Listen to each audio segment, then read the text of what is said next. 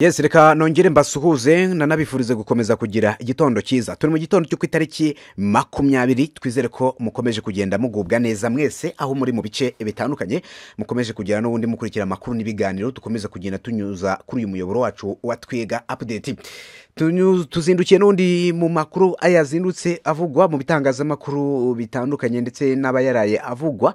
Ngira ngo muze kumfasha mu ntizi igihe cyanyu hanyuma tugaruke kuri ayo makuru yose.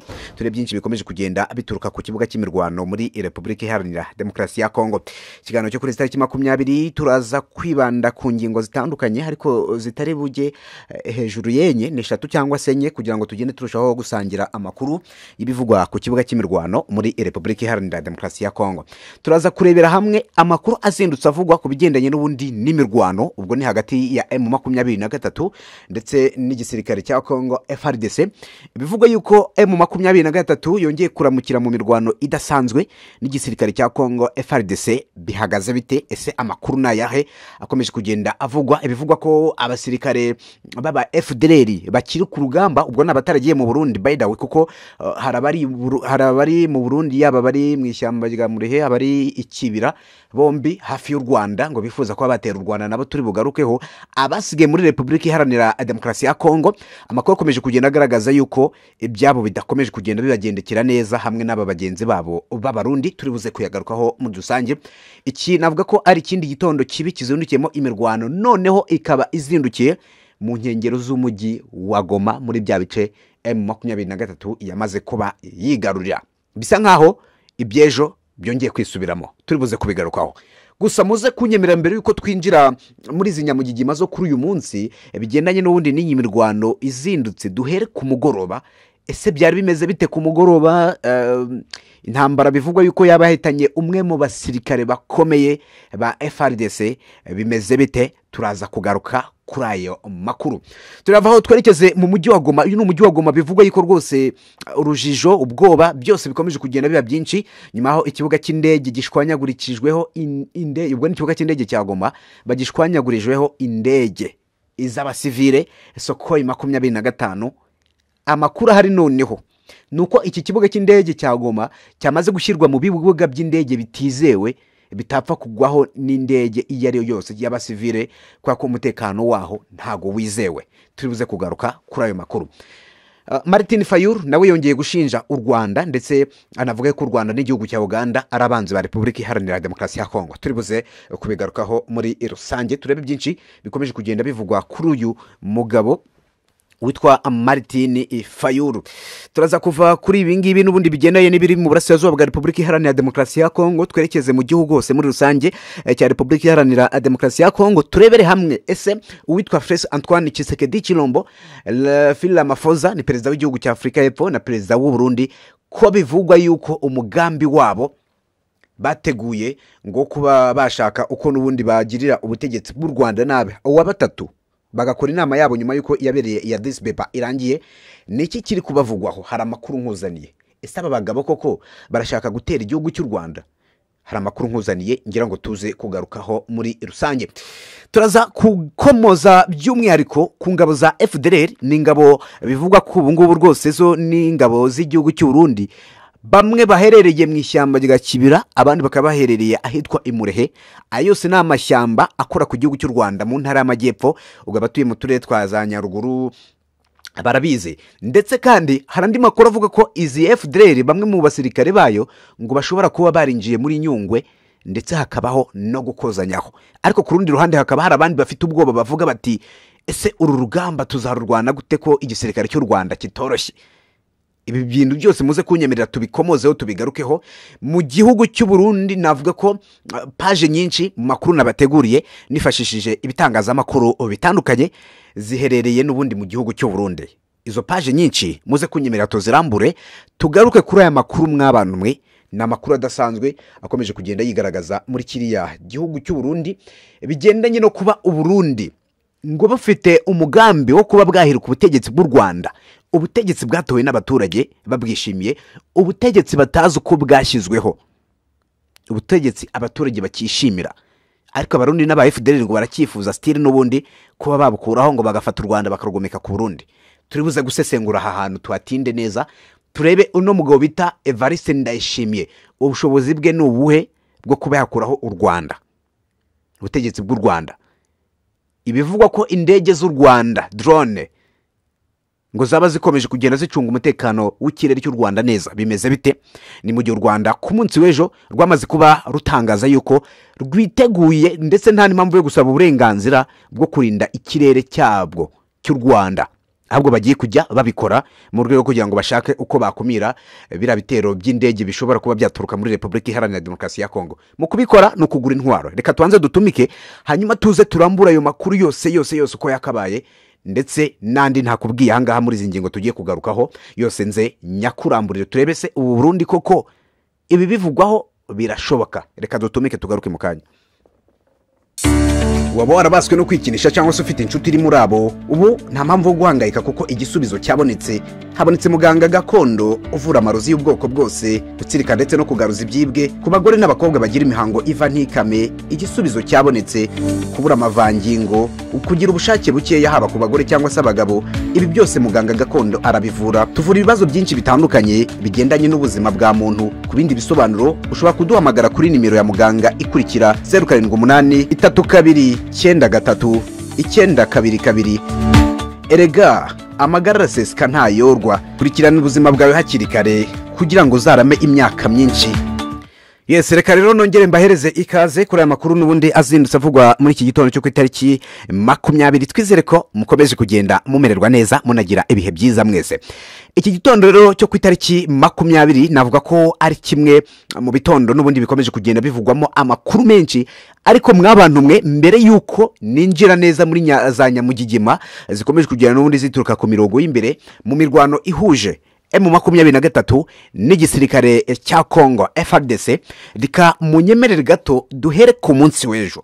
Mu guhera ku munsi w'ejo duhere ku myigaragambyo idasanzwe benshi bise ngo ni iy'amahoro iri kubera mu mujyi wa goma ndetse uyu munsi binavugwa yuko ngo haba hahamagariwe gukora imyigaragambyo n'ubundi mu gihugu hose. Ni imyigaragambyo igamije kugaragaza yuko rwose igihugu cya repubulika iharanira demokarasi ya kongo gishaka amahoro.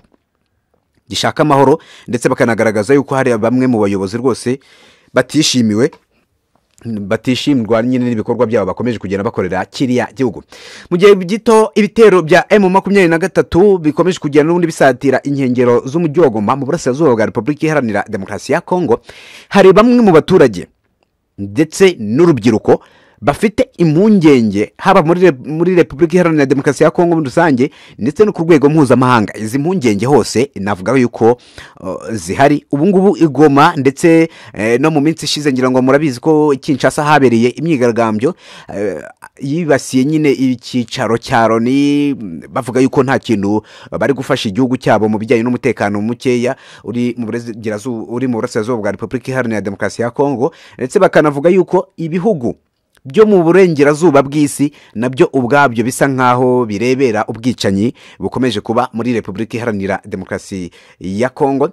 Bimwe rero mu byamaze kuba bimenyekana ku munsi w'ejo bigendanye n'undi n'imyigaragambyo yabaye ndetse n'uyu munsi bivuga ko eh, ninjiye muri studio bavuga ko amakuru akomeza kugenda agaragaza yuko imyigaragambyo n'ubundi ishobora kuba igiye kongera igatangira. Umunsi w'ejo ni umunsi waranzwe n'imyigaragambyo mu mujyi wa goma aho hari imihanda imwe n'imwe yari yafunzwe kubera ino myigaragambyo. Bise ngo eh, niyo nyine kwamagana ibikomeje kugenda bikorerwa abaturage mu burasirazuba bwa repubulika iharanira demokarasi ya kongo. Ikintu rero gitumye nkomoza kuri iyi myigaragambyo kugira ngo ninjire mu mirwano neza ni uko iyi myigaragambyo yo ku munsi w'ejo yasize abagera ku munani batakaje ubuzima. Aba ntabwo ari abantu bake way. Ntabwo ari abantu bake twavuga yuko eh, ngo biri aho ngaho. Oya ni abantu benshi batakaje ubuzima ku munsi w'ejo. Hanyuma tukibaza ese uyu munsi kuri izi tariki makumyabiri? Deko ejo zari tariki cumi n'icyenda sibyo? Uyu munsi turi tariki makumyabiri. Uru rugamba rw'abakora imyigaragambyo bikaza kurangira ko habayeho no guhohoterana bamwe bagapfa hakabaho ubugizi bwa nabi. Ese iki gihugu ko gikomeje kurebera ibi bikorwa n'ubundi bigendanye n'abasivile nabo ubwabo bakomeje kugenda bavishanya amaraso muri repubulika iharanira demokarasi ya kongo. Ibi byo byifashe gute? Hanyuma biraza kugenda bite? Amakuru yo twamaze kuba tumenya ni uko ibijyanye n'iyi myigaragambyo ubwabyo ari kimwe mu bintu na byo bifatwa nk'umutwaro uremereye kuri kiriya gihugu. Ntabwo imyigaragambyo tuyitindaho kuko ngira ngo ejo twayigarutseho bihagije. Ibyayo ngayo ni uko nguko byagenze. Amakuru ubwo twamenye ni uko abarenga umunani harimo abakomeretse n'abapfuye. Bazize ino myigaragambyo. So reka rero twerekeze ku mirwano mw'abantu mwe. Ni imirwano wenda mbere y'uko ninjira no kuri yizi tariki makumyabiri n'icyenda yazindutse nanone ikongera kuzindukira mu nkengero z'umujyi wa goma. Uyu mujyi wa goma ni umurwa mukuru w'uburasirazuba bwa repubulika iharanira demokarasi ya kongo ampurisi safu kivu noru kivu nago ubwo ni kivu y'amajyaruguru kuko nkeka ko muri safu kivu goma ntabwo iriyo kuko nabo bafite umurwa mukuru wabo uyu ni umurwa mukuru wa noru kivu. Amakuru rero twamaze kuba tumenya ni uko imirwano ariho yazindukiye ndetse kandi reka duhere wenda ku mugoroba kugira ngo tubigendanemo neza turebe uko imirwano n'ubundi yazindutse imeze. Ku mugoroba imirwano ukuntu ibintu byakomeje kugenda n'ubundi byifata ku kibuga cy'imirwano ni imirwano idasanzwe bigaragara ko yabereye mu bice bitandukanye ariko ikaza kwibanda mu nkengero z'uriya mujyi wa goma. Benshi batangiye kwibaza bati ese emu makumyabiri na gatatu irarwana yifuza kuba yafata umujyi wa goma?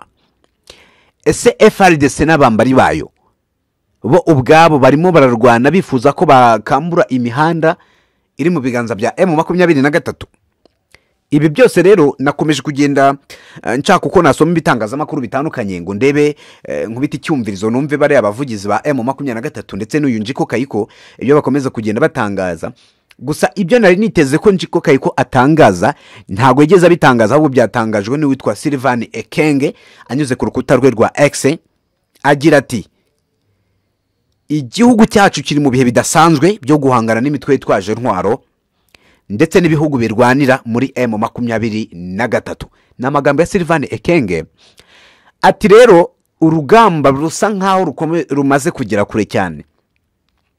Ati kandi uko biri biragaragara ko dush- du- dushaka gukora ibishoboka byose ngo turebe ko umutekano wagarurwa ndetse abaturage bakabaho batekanye. Uyu mugabo silivani ekenge yavuze ikintu gikomeye cyakora avuga yuko ino mirwano guverinoma ya kinshasa niyo ifite mu biganza kuba habaho ibiganiro na emu makumyabiri na gatatu imirwano ikaba yahagarara cyangwa se no kuba hatabaho ibiganiro. Iki ahangaha ndemeranwa nawe ijana ku ijana.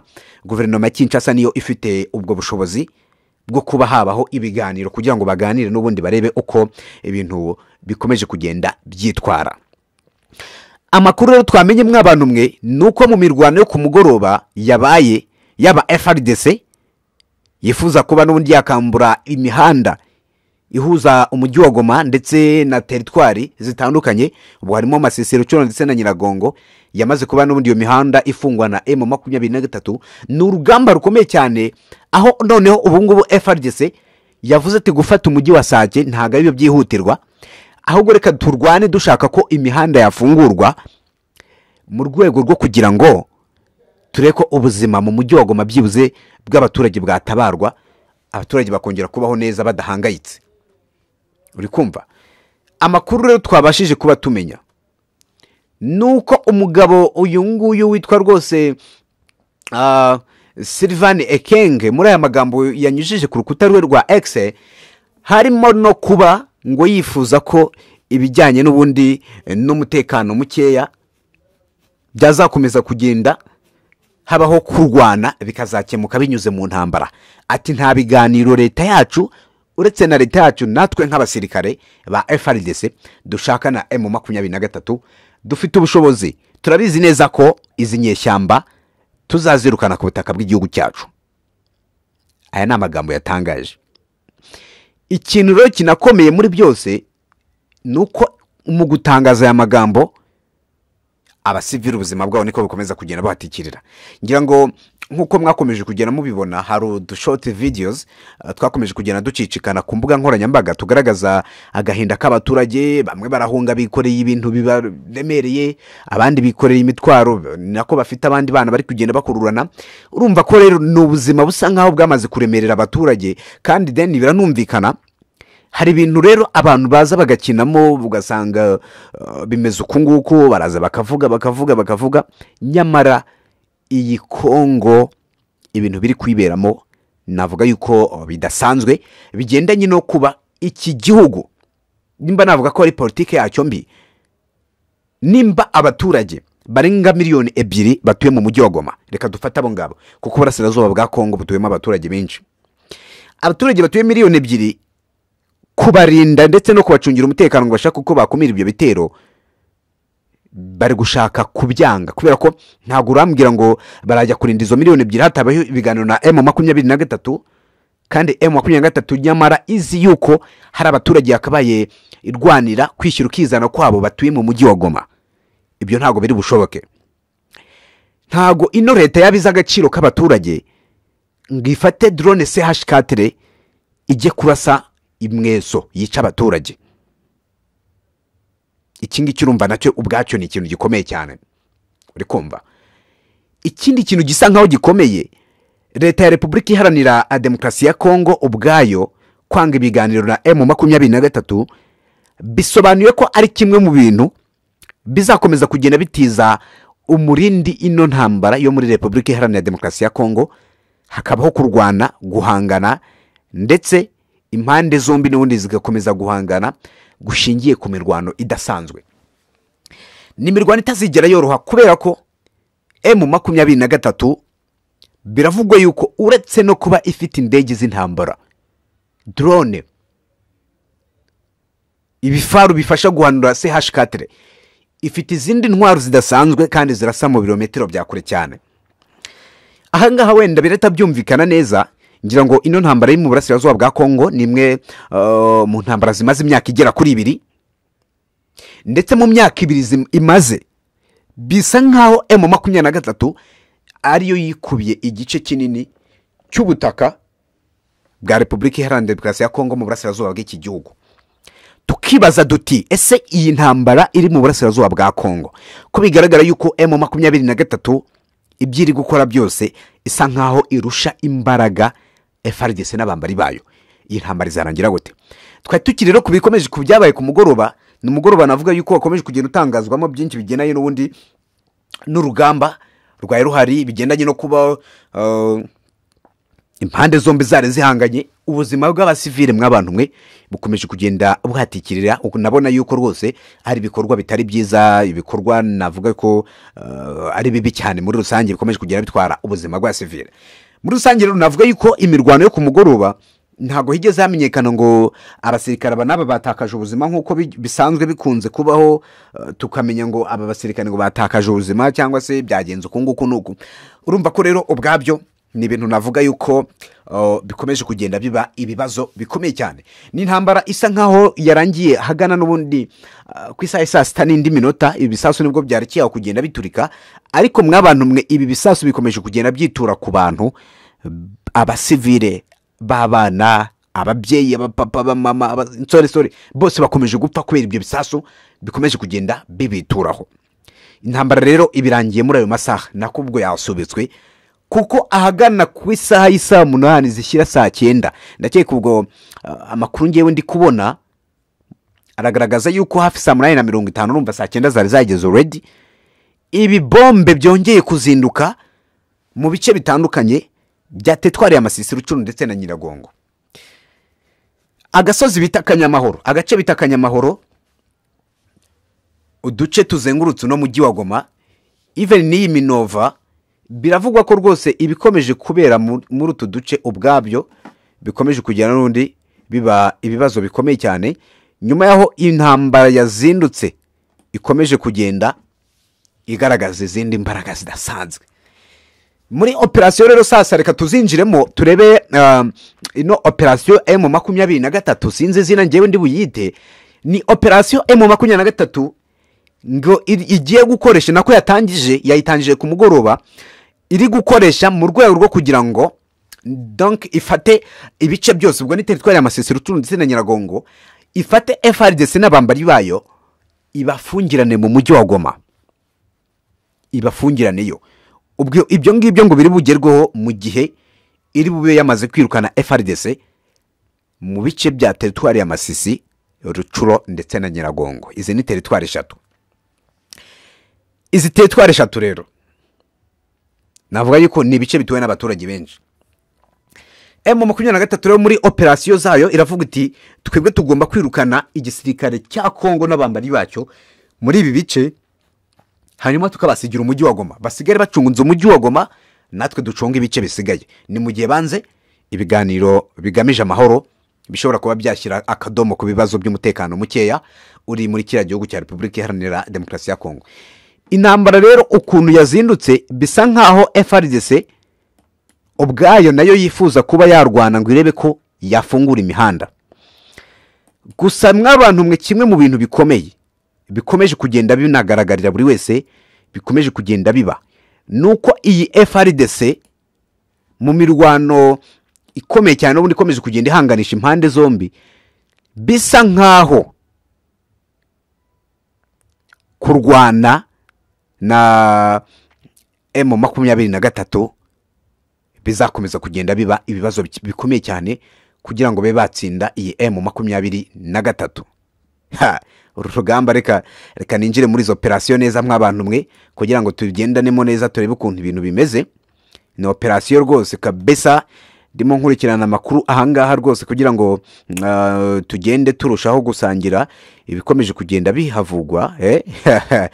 amakuru rero agaragaza yuko emu makumyabiri na gatatu mu mirwano yazindutse ikomeje n'undi kugenda iranga impande zombi bisa nkaho ari emu makumyabiri na gatatu ikomeje kurusha imbaraga igisirikare cya kongo frdc ndetse kandi emu makumyabiri na gatatu ikomeje kugaragaza umujinya udasanzwe mu rwego rwo kugira ngo bashake ukuntu n'ubundi bakomeza kugenda bigarurira uduce dutandukanye ndetse banashake uko bakirukana ingabo za frdc mu bice byose byo- bya teritwari ya masisi. Twibuke neza ni frdc n'ubundi iri ah, urabona hari udusozi twegereye ino eh, axe ya sake turi mu biganza bya frdc ndetse tukaba ari natwo bakoresha barwana n'ubundi ah, na m makumyabiri na gatatu mu rwego rwo kugira ngo bashake uko bakomeza n'ubundi kugenda ba- bashaka uko n'ubundi bakomeza kugenda bashaka uko bakigarurira ino akisi ya sake. Gusa kimwe mu bintu bikomeye ni uko no kwigarurira akisi ya sake ubwabyo ntabwo byaborohera ntabwo byoroshye. Ni ibintu nyine ah, bikomeye cyane kabisa bikomeje kugenda bifata indi ntera. Reka wenda ninjire kuri iyi nkuru neza izindutse ngewe nazindutse mbona ah, chimp report yanditse ni igitangazamakuru cyandikira muri mu gihugu cya uganda. Cyagize giti mu mirwano yazindutse kuri izi tariki makumyabiri mu nkengero z'umujyi wa goma ndetse ibintu birag- biragaragara yuko bikomeje kugenda biba bibi cyane nyuma y'aho imirwano ivuye muri ibyo bice bya karuba mweso kibumba eh, kuri ubu ngubu ikaba bivugwa ko yatangiye gusatira umujyi wa goma. Umujyi wa goma ni umwe mu mijyi iherutse guhura n'isanganya kuko hari ibisasu byayituyeho bigera kuri bibiri mu rukerera rwo ku itariki cumi na zirindwi ndetse ingaruka z'ibyo bisasu bivuga ko byanyanyagijwe na dorone ngo z'u rwanda ngo bikaba rwose ingaruka zarakomeje kugenda zigira eh, zi- zigera n'ubundi ku kibuga cy'indege cya Goma aho indege zashwanyaguritse ah, zimwe bakaba bari kuzisana izindi bikaba bitashoboka kubera ko zashwanyaguritse cyane zatobaguritse. Kandi muri izo ngizo harimo n'indege z'intambara za frdc He, ibi ntabwo bizoroha mw'abantu mwe. Ati rero uyu munsi kuri izi tariki makumyabiri birasa nkaho nanone urugamba rushobora kongera gufata indi ntera ndetse kandi ibingibi bikaba byatuma abasirikare benshi b'abarundi nibo bigaragara yuko ubuzima bwabo bukomeje kugenda bujya mu kaga kubera n'ubundi ibibazo bitandukanye. Byo kuba urugamba bazi ntabwo bazi igisobanuro cya- cyarwo. Kururwana ubwabyo na cyo ni ikibazo gikomeye cyane. Ndetse kandi ni emu makumyabiri na gatatu isa nkaho yamaze neza kwiga intambara. Impande zombi iragenda irazimetiriza ikorana rize ibi bikaba bikomeje no kugenda biyifasha n'ubundi gutsinda umwanzi. Uri kumva? Navuga yuko rero ni imirwano izindutse ikomeje kugenda iba mu bice bitandukanye eh, ubwo byumvikane ko no- zino nkengero z'umujyi wa goma ziri kuberamo imirwano ariko nanone wasubira imweso naho ngo hazindukiye ibiturika. Hazindukiye ibiturika ndetse na ka gace bita kicanga ni agace bigaragara yuko n'ubundi frdc yahoze ishaka mu minsi yashize ariko biza kugaragara yuko kugira ngo ifate kariya gace bishobora kuba bitayorohera bigendanye no kuba ni frdc n'ubundi mu rugamba ikomeje kugenda ihanganamo uh, na m makumyabiri na gatatu. Bisa nk'aho rwose frdc yarushijwe imbaraga. Bisa nk'aho yarushijwe imbaraga n'ubundi na m makumyabiri na gatatu muri rusange. Reka rero wenda amakuru yacu dukomereze kuri uyu mugabo bita martine fayuru nawe tumukubiteho kugira ngo tuze kwerekeza mu burundi ah, turebe ku bigendanye na kiriya gitero. Ariyo yo ni amakuru areba u rwanda perfectly niyo mpamvu ngira ngo ah, tuze kuyagarukaho neza gatanu ku kandi eh, turebe byinshi bikomeje kugenda bivugwa n'ubundi eh, kuri ariya makuru y'u Burundi. Bize fdr mwakomeje kumva amakuru yayo fdr tuyigarukeho. Reka tubanze tujye kuri uyu mugabo bita martin fayuru ku munsi w'ejo ni bwo hasohotse uh, tweet y'uyu mugabo bita martin fayuru ndetse akaba yaramaze no gutanga ikirego cye kuri afurika yunze ubumwe avuga ko u rwanda ndetse n'igihugu cya uganda bikwiye kwihutira gukura abasirikare babo mu gihugu cya repubulika iharanira demokarasi ya kongo martin fayuru ni umwe mu banyapolitiki ndetse akaba yari n'umwe mu bakandida biyamamarije kuyobora n'ubundi repubulika iharanira demokarasi ya kongo mu matora yabaye uh, mu kwezi kwa cumi n'abiri umwaka washize bibiri na makumyabiri na gatatu bikaza kurangira atsinzwe aya matora. Ubu ngubu akaba rero yamaze kuba atanga ikirego kuri afurika yunze ubumwe ko igomba gukemura ikibazo cya fdr adf kugira ngo bitume u rwanda ndetse na uganda bakura ingabo zabo ku butaka bw'igihugu cya repubulika iharanira demokarasi ya kongo eh, ashinja rero ibi byose kuba u rwanda rufite abasirikare muri kongo nyuma y'uko igisirikare cya kongo gihanganye na emu makumyabiri na gatatu nawe akomeje gushimangira ko bariya ati ni abasirikare b'u rwanda na uganda. Ati kandi afurika yunze ubumwe ni mwebwe mukwiye gufata iya mbere mugashaka uko mwakemura ibibazo bya fdr ndetse n'ibibazo bya adf ni, umutwe w'inyeshyamba urwanya leta ya uganda fdr ikaba ari umutwe w'abajenosideri wakoze amahano mu rwanda ukaba unifuza gukura ubutegetsi bw'u rwanda. Ibyo turi bubigarukeho. Martin fayuru rero akimara gushyiraho uh, kuvuga ayo magambo atandukanye n'ubundi bigendanye ngo no kuba yifuza kuba uh, ino afurika yunze ubumwe yafata ibibazo n'ubundi biri hagati y'impande zombi ikabikemura ibanje gukemura ibibazo bya fdr fdr ni umutwe ufatanya n'igisirikare cya kongo frdc martin fayuru rero mu mboni ze aragira ati birakwiye ko ibibazo by'umutekano muke biri mu burasirazuba bwa repubulika iharanira demokarasi ya kongo hatangira kwigwa ku nyigo yatuma bishyirwaho akadomo kuko ubwabyo ni ibibazo bikomeje kuremerera n'ubundi igihugu cya repubulika iharanira demokarasi ya kongo. Uyu ni umugabo yatangaje ano magambo ku munsi w'ejo. Ayashyira ahagaragara. Ese martin fayuru nawe yinjiye muri ba bandi bahamya ko u rwanda rufite abasirikare muri repubulika iharanira demokarasi ya kongo. Ngayo nguko rero ni ibi by'uyu mugabo kandi ibingibi abivuze nyuma y'uko hari videwo imaze iminsi isirikire ku mbuga nkoranyambaga igaragaza umusirikare w'u rwanda wafashwe mateka n'ingabo za frdc ndetse aza kugaragara avuga ko ari uw'i kayonza. Ibyo ni ibyatangarijwe muri repubulika iharanira demokarasi ya kongo. Ni videwo yakomeje kugenda isirikira mu bitangazamakuru navuga ko bitandukanye. Ikintu rero gikomeye cyane kuri martin fayuru nubwo akomeza kugenda atangaza aya magambo ni uko yaba iyo afurika yunze ubumwe asaba kuba yakemura ibibazo bimaze imyaka irenga icumi ubwabyo nawe azi neza yuko bigoye ko ibibazo biri muri repubulika iharanira demokarasi ya kongo byakemuka igihe cyose hataba habayeho kuganira ngo barebe neza nimba emu makumyabiri na gatatu ibyo isaba byo kuba uburenganzira bw'abaturage bwakubahirizwa ni abaturage bagenzi babo b'abanyekongo bakoresha ururimi rw'ikinyarwanda bo mu bwoko bw'abatutsi. Ibyo ngibyo rero byose bizakomeza kugenda rero bigorana muri rusange.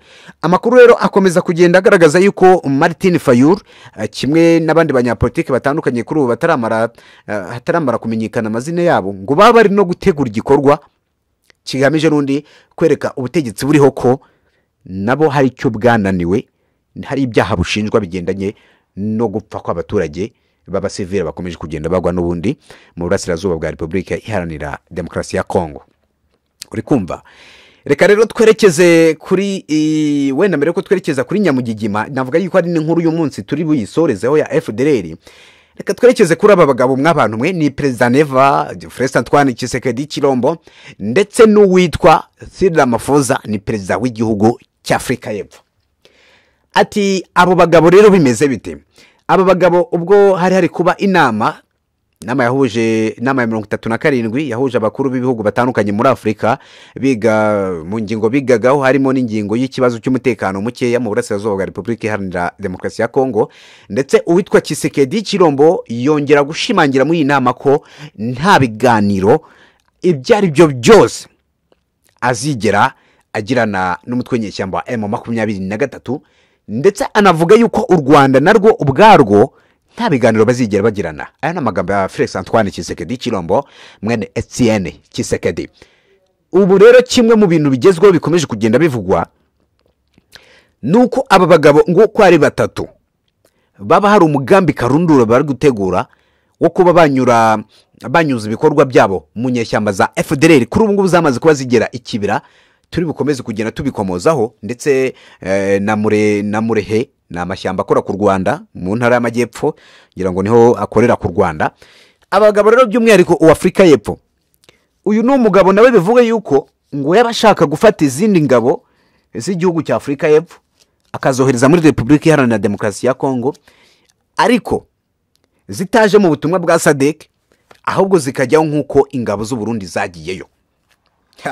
Urumva ko ibi bintu birakomeye. Reka tubanze tubyitseho neza.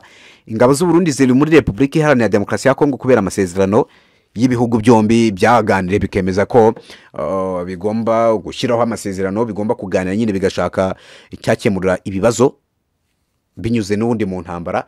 Uburundi rero bufata decision ndetse bunafata iya mbere yo gushaka uko barwana bagakemura ibibazo ariko binyuze mu mirwano. Ni abarundi bafashe iya mbere mu gufasha n'ubundi frdc mu gushaka n'ubundi uko ibyo bibazo biri by'ingutu biri muri repubulika iharanira demokarasi ya kongo byakemuka ariko nanone bigakemuka binyuze mu mirwano.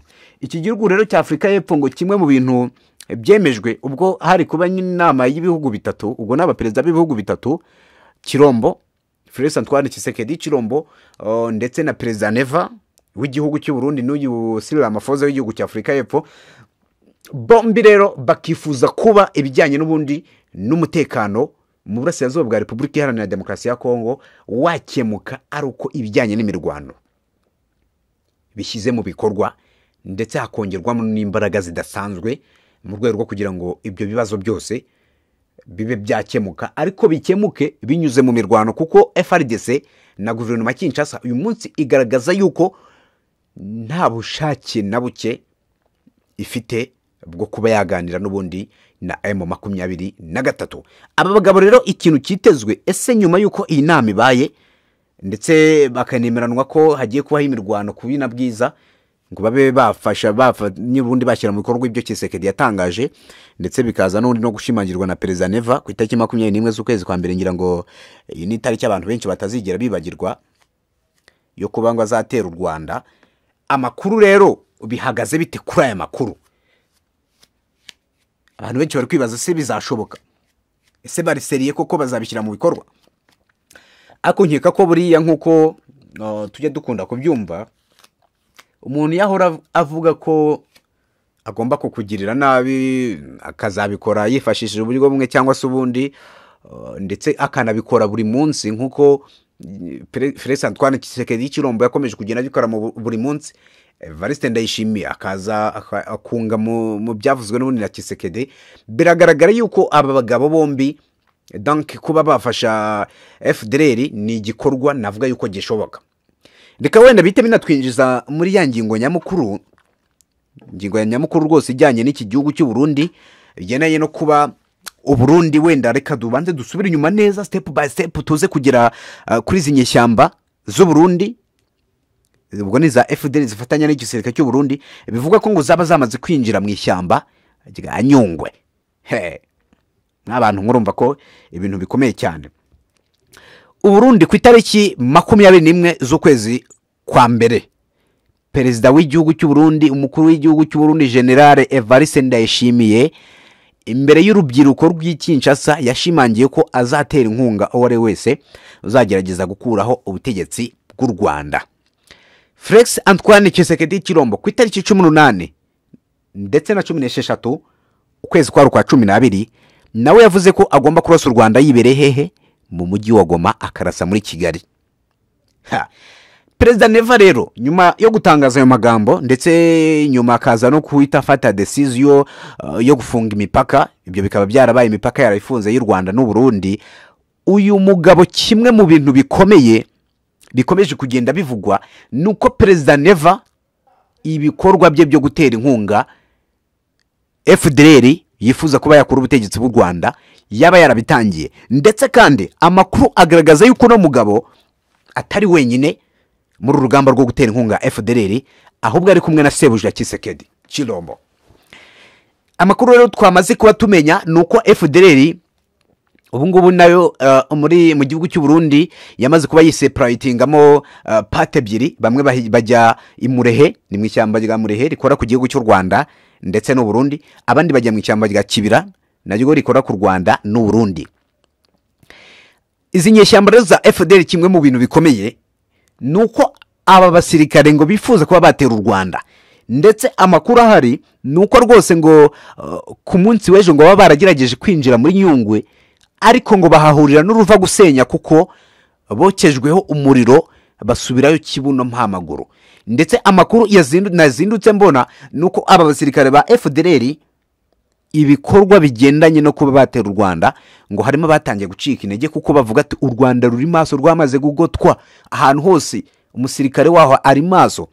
Rero ni umuriro watse ku munsi w'ejo bivugwa ko rwose bagerageje gusa nk'aho binjira mu ishyamba rya nyungwe ariko bikaza kuba ibibazo bikomeye cyane bikaza kugaragara yuko emu makumyabiri na gatatu uru rugamba bavuga ko ariyo yarushoye ndetse bakomeza kugenda bayita ngo ngo ni rdf emu makumyabiri na gatatu baravuga ati yaturashe dusubira inyuma turirukanka dukizwa n'amaguru ariko noneho nituza kugaruka ntabwo bari budukire.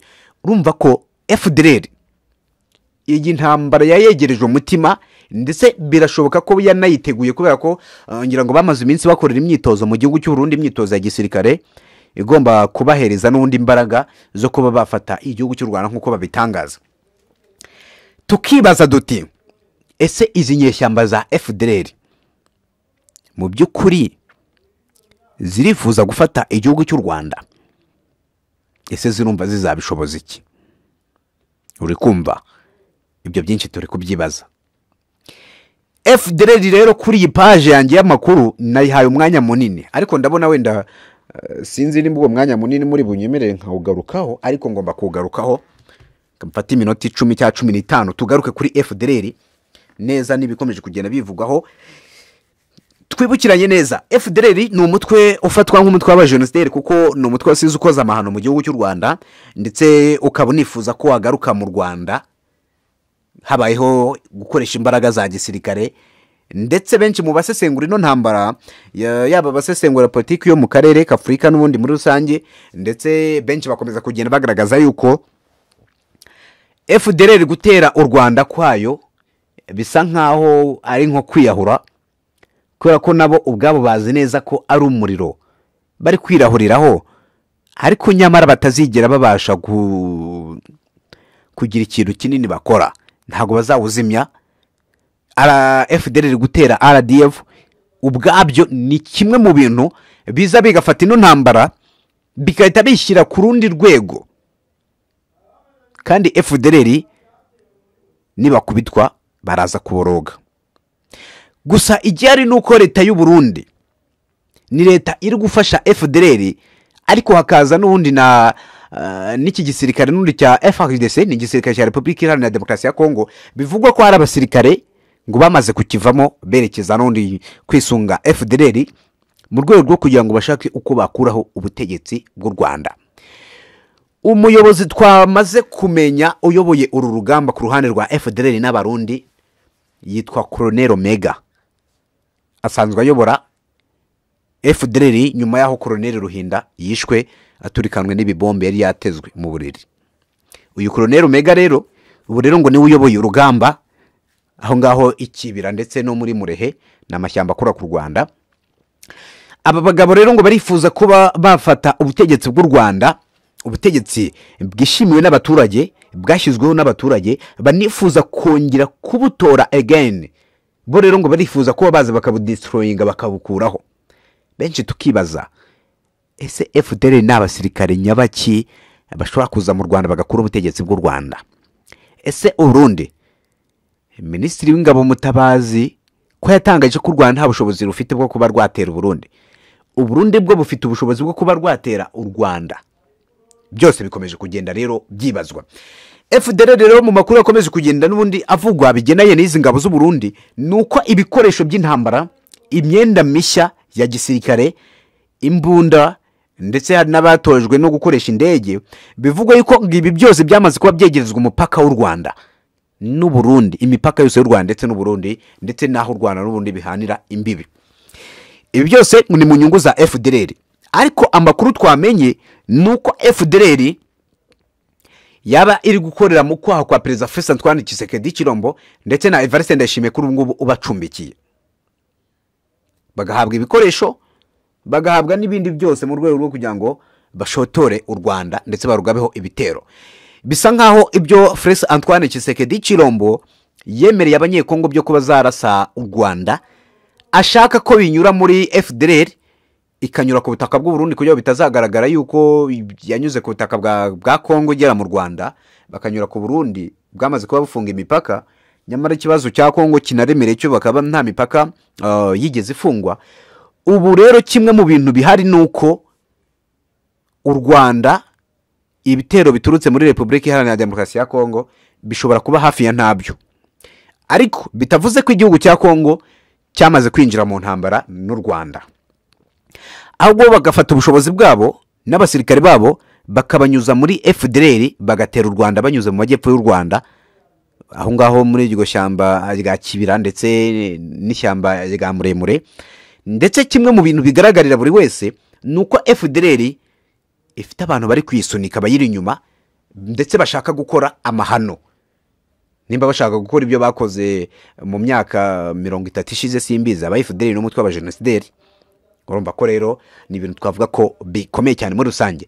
Reka dusoze twibaza duti abasirikare ba fdr bivugwa yuko kuri ubu ngubu ari igihumbi na magana abiri baherereye i murehe ndetse no muri kibira hakiyongeraho abandi basirikare benshi benshi benshi b'abarundi n'ibindi bitwaro byinshi by'amabombe masasu imbunda zirasa kure nini n'intoya aba bagabo barakomeje. Ese koko ububasha bwo gutera u rwanda bakaba bamaramo amasaha makumyabiri n'ane? Barabufite. Twakomeje kugenda twumva amakuru ngo iyi fdr n'aba bambari bayo kurasa u rwanda ubwabo nta n'isaha bashobora kumara ku butaka bw'u rwanda igihe baba babwinjiyeho. Ibyo ni ibyatangajwe n'umwe mu basirikare batorotse igisirikare bavuye muri kongo kuko bari barambiwe kubona bagenzi babo bapfa bishwe n'amasasu no kutamenya kurwana urugamba. Uri kumva? Ibyo rero ni ibibazo bikomeye cyane byakomeje kugenda nyine bigaragara byinshi banibazwa ndetse aho benshi batangiye no kugenda bibaza bati ese uburundi fdr bafite ububasha nyabaki bushobora kubahereza iyo ability yo kuvuga ngo bagiye gukura ubutegetsi bw'u rwanda ubutegetsi bw'u rwanda twibuke neza ni ubutegetsi bwishimiwe n'abaturage abaturage bishimira bitoreye ndetse kandi banifuza yuko bwazongera kubayobora mu yindi manda mu matora azaba mu mpeshyi. Hanyuma uburundi ni bande bo kuza gukura ubutegetsi bw'u rwanda? Fdr ni bande bo gukura ubutegetsi bw'u rwanda? Ha ngayo nguko rero. Reka mbashimire mwakoze cyane rwose kubana nanjye muri aya makuru azindutse avugwa mw'abantu mwe ntabwo biba byoroshye nshobora kuba hari ibyo navuze nabi. Byandike muri komenti ndaza kubibona mesaje zanyu rwose nzinyuzamo amaso nkazibona gusa ngewe mbona mesaje y'umuntu hari impamvu nabikoze kuriya hari abantu baza muri komenti bazanwe no gutukana gusa kandi ahanini ugasanga ni bamwe mu bantu b'abaturage b'abarundi ubona uvuga inkuru ku burundi ukabona basaze barimo baratukana muri komenti ariko biriya ntabwo ari byiza bayidawe niyo mpamvu mubona ngewe mba narashyizeho nyine mesaje yawe urayandika ni byo ibe mbi cyangwa se ibe nziza kubera ko ishobora kuba mbi ikagumura abandi nawe ugatuma bandika ibyo bimesaje bidafite epfo na ruguru. Ni yewe nyibona ndetse nawe wayanditse. Rero iyo komenti sekishoni niyo mpamvu iri aho hepfo andikamo icyo utekereza. Hanyuma tuze gukomeza kujyana n'ubundi tuganira ku makuru yose aba akomeje kugenda aturuka ku kibuga cy'imirwano muri repubulika iharanira demokarasi ya kongo ndetse tujye dukomeza no kwitsa kuri izi ngabo za fdr kuko isaha n'isaha abasirikare ba fdr bashobora kwisaza nimba ari urumogi baba banyweye simbizi bakaba bakiyahura mu rwanda. Reka nkoreshe ijambo kwiyahura kuko ntago ibyakurikiraho nyuma y'uko baje mu rwanda ngo gukuraho ubutegetsi byaba byiza. Kumva? Rero ndabashimiye mwakoze kuntiza umwanya wanyu biranoroshye cyane gukomeza kudukurikira wakora ku ijambo subscribe cyangwa se eh, sabone hanyuma ukajya ubana natwe buri munsi buri uko eh, dukomeza kujyana n'ubundi eh, tubagezaho amakuru. Mu kanya amakuru yacu ndetse n'ibiganiro biraza kuba bikomeje n'ubundi muraza gukomeza kugenda mudukurikira. Nimba utarabikora nyamuneka bikora uko nguko ukore ku ijambo subscribe cyangwa se sabone hanyuma tuze gukomeza kugera n'ubundi tubana. Reka duhure mu kanya ha saravista